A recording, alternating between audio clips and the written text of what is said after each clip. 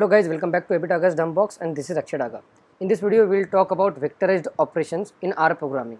So, till now we have already seen different data types like list, vectors and matrices and everything. Now, what is vectorized implementation? Implementation like vectorized operation.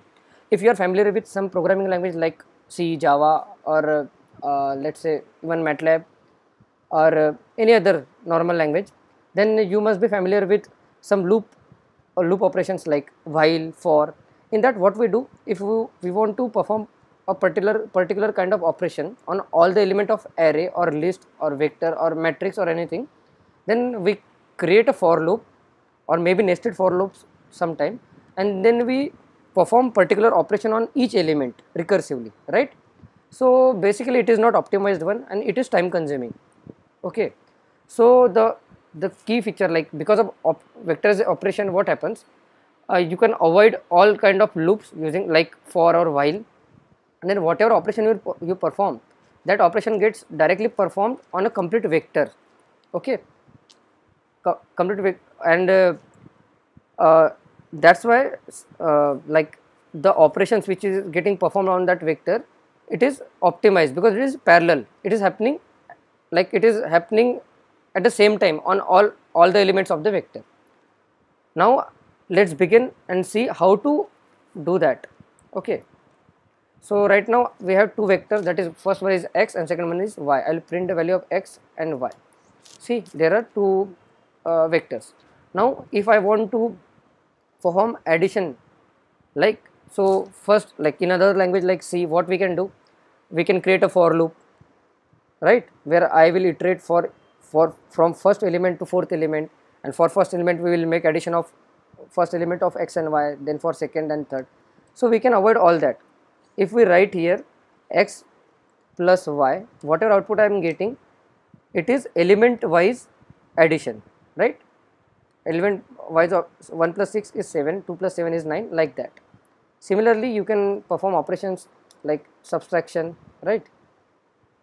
Then uh, multiplication. So it is a element wise multiplication. Then division and so on like that. So this is the vectorized uh, implementation right? Apart from that there are some more operation like x is greater than y. It will give me a output in terms of true or false. If i write it like this then i'll get true.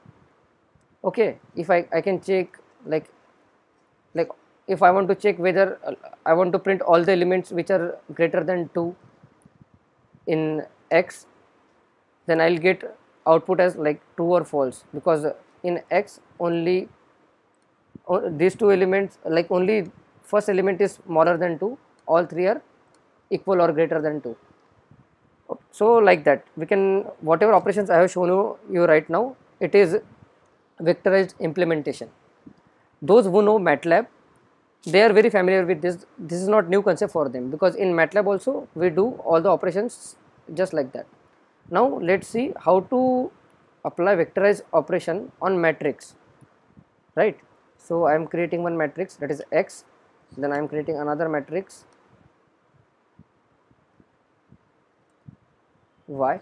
Both the matrix are 2 by 2 I am printing x I am printing y see now just like vectors I can do the same operation on matrix as well. If I am doing, doing x plus y it is element wise addition. First element is getting added with the same the first element of that. If I am doing subtraction same.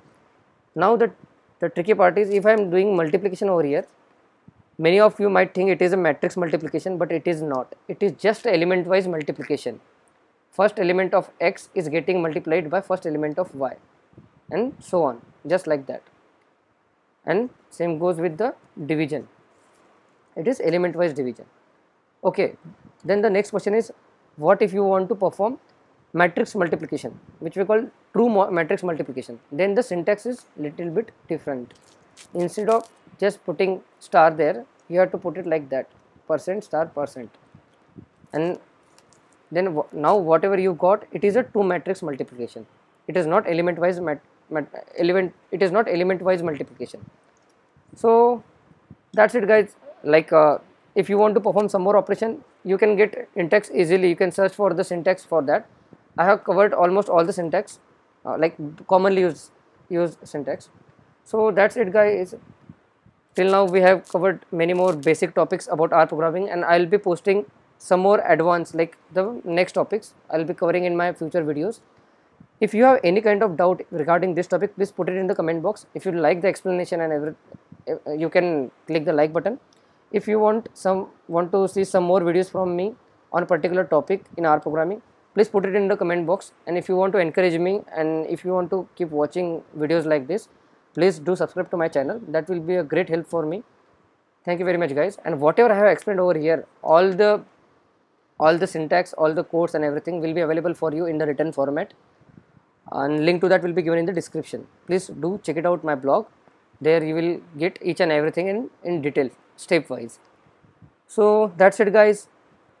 This is akshay daga signing off. Thank you very much